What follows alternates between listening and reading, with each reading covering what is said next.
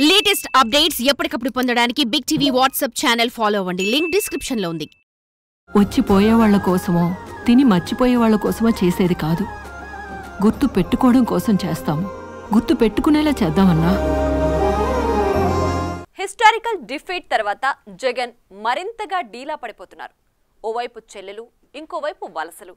అటు చూస్తే బెయిల్ రద్దు భయం ఇటు చూస్తే సపోర్ట్గా ఎవ్వరూ రాని వైనం. రాజకీయ చదరంగంలో చెక్మేట్కి జగన్ చాలా దగ్గరగా ఉన్నారా అంటే అవునన్న సమాధానమే వస్తుంది. అధికారంలో ఉన్నప్పుడు రాజాది గ్రేట్ అనుకున్నారు. కానీ ఇప్పుడు కథ మొత్తం రీరైట్ అవుతోంది. ఎందుకిలా వ్యూహం దారి తప్పింది? ఒంటరిగా మారి ఉక్కిరి బిక్కిరి అవడం వెనక జరిగిందేంటి?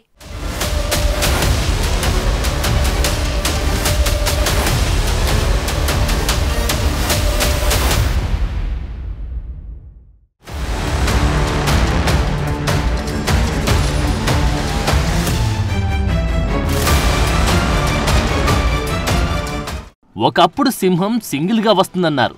ఏపీలో తమకు తిరిగేలేదన్నారు సమరానికి సిద్ధమా అని సవాలు చేశారు. సీన్ కట్ చేస్తే ఎన్నికల్లో వైసీపీ బొక్కబొర్ల పడింది.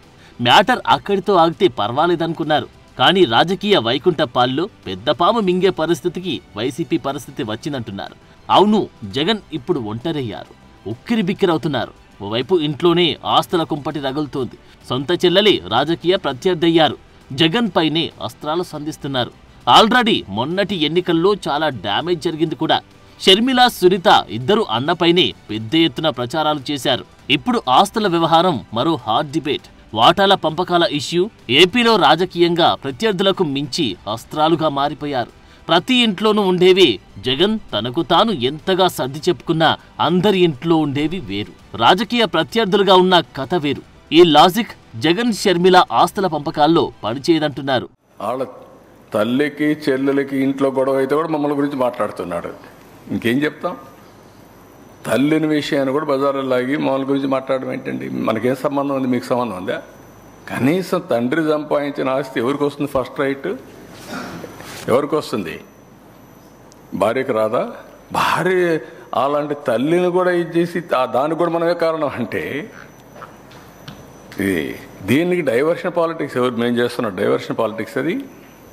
అక్కడ పోయేదో ఒక రెండు లక్షలు ఇస్తున్నాడు. ఏంటి ఆ రెండు లక్షలు? నువ్వు ఉన్నప్పుడు ఉందా?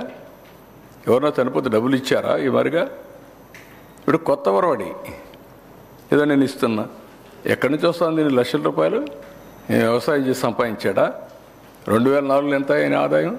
కట్టి ఇవన్నీ కూడా ఒక నీతివంతమైన పాలిటిక్స్ చేసినప్పుడు కొద్దిగా పద్ధతులు ఉంటాయి ఏదో ఏం మాట్లాడినా ఇంకా నమ్మతారు ప్రజలు అంటే అయిపోయినా ఇది అయిపోయింది. అందుకే చెప్పి ఎస్కోబార్ అని. ఎస్కోబార్ ఏం చెప్పినా నమ్మతారు అనుకుంటే ఇంకా రోజులు అయిపోయినాయి. నిజానికి ఆస్తుల పంపకాల చుట్టూ మ్యాటర్ చాలా దూరం వెళ్తుంది. ఇప్పటికే జగన్కు పొలిటికల్గా చాలా డ్యామేజ్ జరిగింది. తాను సొంతంగా సంపాదించుకున్న ఆస్తుల్లో వాటా ఇవ్వడమేంటన్నది జగన్ ప్రశ్న. అయితే ప్రత్యర్థులు మాత్రం తల్లికి చెల్లికి న్యాయం చేయని వ్యక్తి రాష్ట్రానికి ఏం చేస్తారని ప్రశ్నించారు. ఇది ఎన్నికల ఫలితాల్లో రిఫ్లెక్ట్ కూడా అయింది.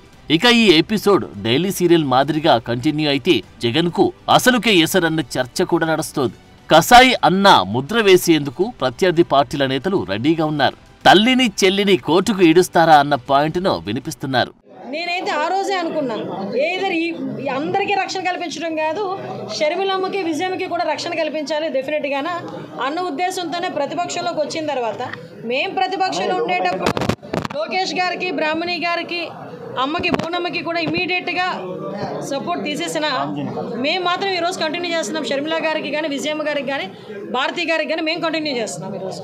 కాబట్టి ఇదే ఒక సంఘటన ఎప్పుడప్పుడు జరుగుతుంది అనుకున్నాం జరిగింది. మీరు ఆశ్చర్యపోయారు. ఎందుకంటే అతనికి సొంత తల్లి మీద చెల్లి మీద ఉన్న పరిస్థితి ఏంటన్నది ఒక ఎఫెక్షన్ ఏంటన్నది ఇప్పుడు అర్థం మీకే అర్థం ఉంటుంది ఇతగాడమే బయటకు వచ్చి అక్క చెల్లెములు అక్క చెల్లెములు అంటాడు. సొంత చెల్లిని సొంత చెల్లిలో భావించలేకపోతున్నాడు కానీ ఊరి మీద ఉన్న వాళ్ళందరినీ మాత్రం అక్క చెల్లెములు అక్క చెల్లెములు అంటాడు. తల్లి చెల్లికిచ్చిన ఆస్తి పంపకంలో ఆ గిఫ్ట్ డీడ్స్ రద్దు చేయమని. అంటే నేను వాళ్ళ ఆస్తుల పంపకాల జోలికి నేను పోతుందా కానీ ఆయన క్రూర మనస్తత్వం. జగన్మోహన్ రెడ్డి క్రూర మనస్తత్వం. ఓట్ల కోసం నా చెల్లి నా తల్లి నా అక్క నా తండ్రి అని మాట్లాడతావు ఓట్ల కోసం.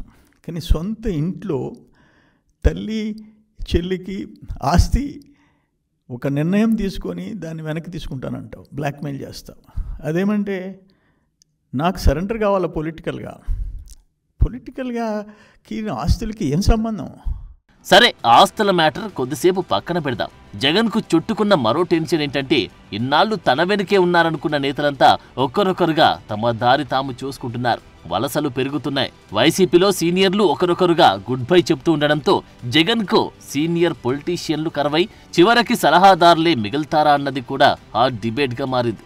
ముఖ్యంగా పదవుల్లో ఉన్నవారు మాజీలైన నేతలు కూడా వైసీపీని వీడేందుకు క్యూ కడుతున్నారు.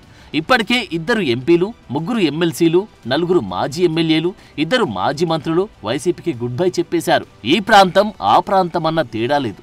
అంతటా ఇదే సీన్. అయితే టీడీపీ లేదంటే జనసేనతో టచ్లోకి వెళ్తున్నారు. ఇటీవలే పార్టీకి గుడ్ బై చెప్పిన వాసిరెడ్డి పద్మ ఎపిసోడ్తో అసలు వలసలను ఆపాలని జగన్ అనుకోవడం లేదా అన్న పాయింట్ కూడా చర్చనీయాంశమవుతోంది. పార్టీ వీడుతూ వాసిరెడ్డి పద్మ చేసిన కామెంట్స్ ఏంటంటే మద్యం పేరిట పేద ప్రజలను దోచుకున్నారని ఐదేళ్ళ పాలనలో ఎప్పుడూ ప్రజా సమస్యలు పట్టించుకోలేదని వైసీపీలో మహిళలకు ఎలాంటి ప్రాధాన్యత లేదని గుడ్ బుక్ పేరుతో జగన్ మరోసారి మోసానికి రెడీ అయ్యారని ఫైర్ అయ్యారు.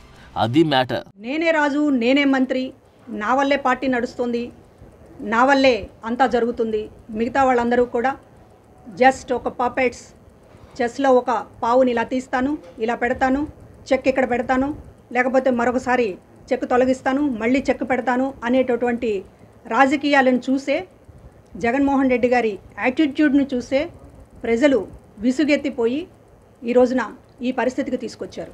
ప్రజా తీర్పు తర్వాత కూడా గుడ్ బుక్ పెడతాను. ఇప్పుడు పార్టీ కోసం కష్టపడినటువంటి నాయకులకి కార్యకర్తలకి ప్రమోషన్లు ఉంటాయి. గుడ్ బుక్లో పేర్లు రాస్తాను అని చెప్పి మాట్లాడుతున్నారు. ఇవన్నీ ఇలా ఉంటే ఇంకోవైపు కోర్టు కేసుల్లోనూ కదలిగా వస్తోంది. ఆస్తుల వ్యవహారానికి సంబంధించి ఎక్కడ బెయిల్ రద్దవుతుందోనన్న టెన్షన్ కూడా పెరుగుతున్నట్టున్నారు సో ఒకటి రెండు దిక్కులు కాదు అష్టదిక్కుల నుంచి జగన్కు సవాళ్ళు పొంచి ఉన్నాయి. గండాలు ముంచుకొస్తున్నాయి.